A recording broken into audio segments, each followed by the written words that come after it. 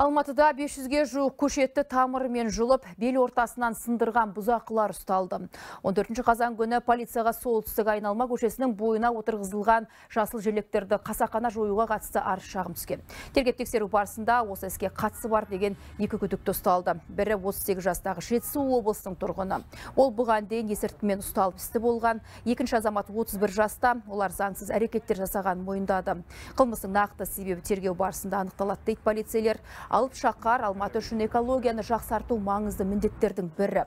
Сондықтан жасыл желектерді күтіп баптауға ерекше көңіл бөлінеді. Жапырақты көшеттерді заңсыз жойған екі азамат анықталып олар қылмыстық кодекстің 340 бабының үшінші тармағы бойынша қылмыстық жауапкершілікке тартылды. Қазіргі таңда екі сезікті өз кінәларын толық мойындауда. Жасаған іс әрекеттерінің нақты себептері анықталып қазіргі таңда материалдық шығынды өтеуге бағытталған іс шаралар жүргізілуде.